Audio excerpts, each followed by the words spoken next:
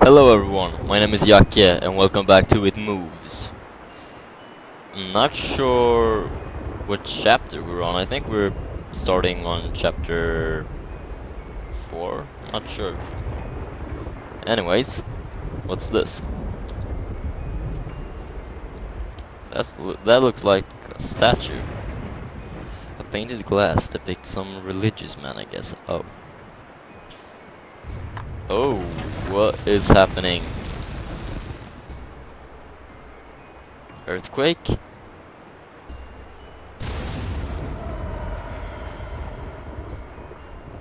I don't know.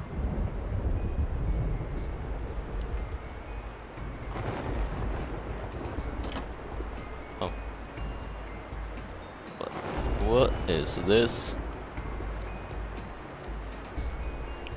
We're probably in a church. What the fuck is that? A painted glass depicts a scene from the Bible. Yeah, we're definitely in a church. Oh. I can't see. Oh, that's a door. Oh, now I see it.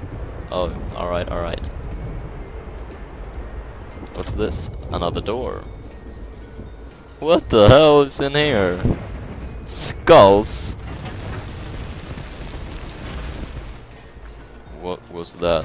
Another one. And another one.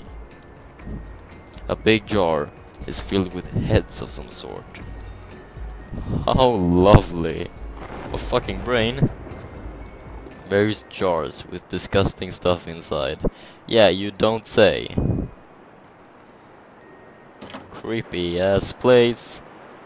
I was about to say that is beautiful, but that head is not beautiful. Far from it.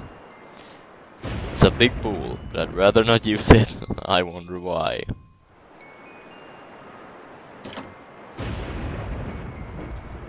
Spiderwebs.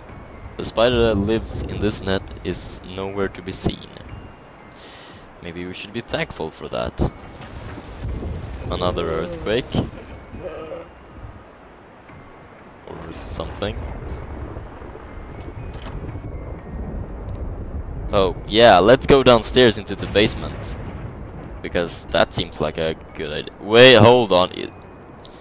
You're kidding me. Someone has been hanging cats. Fuck, that's not cool. Poor cats. Oh shit. Well, we're stuck. How do we get out of here?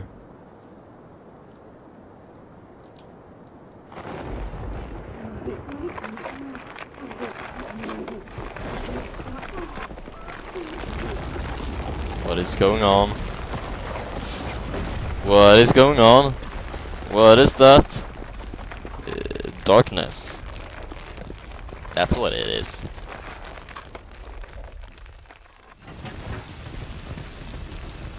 The fuck?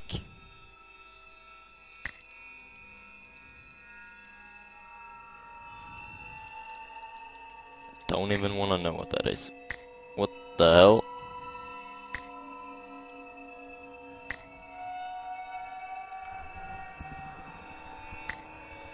Are we walking in a circle? They look the same.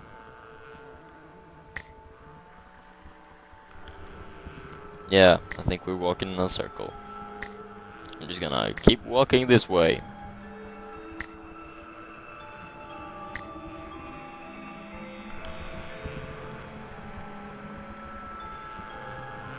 Something's different.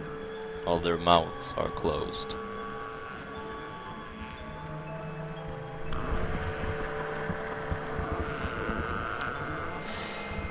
Well,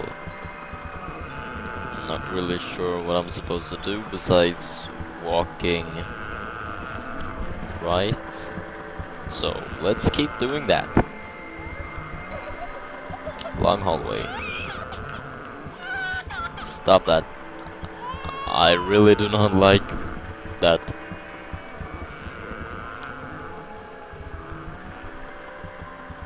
Hold on a second. Yeah, there we go.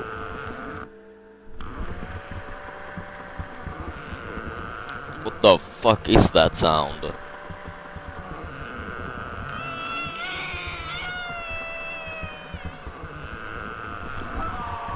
Not cool.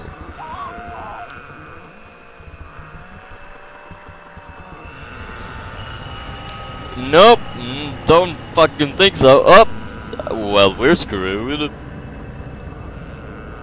What the hell? Oh, darkness again.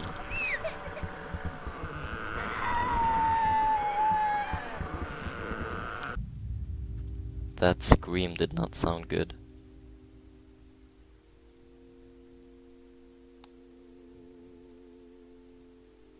My greatest fear were realized in the winter. The day grew short, and the longer nights merely provided the wrench with more opportunities. It was a difficult time for my family.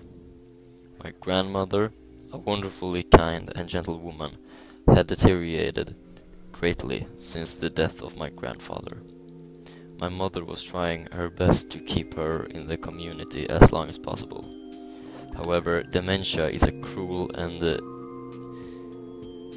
degenerative illness, robbing a person of their memories one day at a time.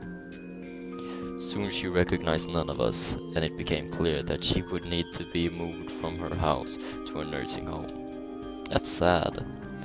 Before she could be moved, my grandmother had a particularly difficult few nights, and my mother decided that she would stay with her. As much as I loved my grandmother, and felt nothing but anguish at her illness. To this day I feel guilty that my first thoughts were not of her, but of what my nightly visitors may do, should it become aware of my mother's absence. Oh fuck. Her presence being the one thing that the one thing which I was sure was protecting me from the full horror of this thing's reach. I rushed home from school that day and immediately wrenched the bed sheets and mattress from the lower, lower bunk removing all of the slats and placing on old desk a chest of drawers and some chairs which we kept in a cupboard where the bottom bunk used to be. I told my father I was making an office, which he found it adorable. But I would be damned if I'd give that thing a place to sleep for one more night. As darkness approached, I lay there knowing my mother was not in the house. I did not know what to do. My only impulse was to sneak into her jewelry box and take a small family crucifix which I had seen there before. I can make sense out of that. While my family were not very religious, at that age I still believed in God and hoped that somehow this would protect me. Understandable? Although fearful and anxious, while gripping the crucifix under my pillow tightly in one hand. Sleep eventually came and as I drifted off to dream, I hoped that I would awaken in the morning without incidents. Unfortunately, that night was the most terrifying of all. That fucking sucks.